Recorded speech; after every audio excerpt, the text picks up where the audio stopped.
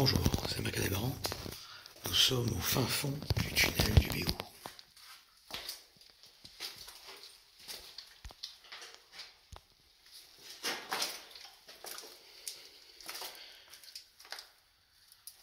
On voit ici que l'escalier s'effondre.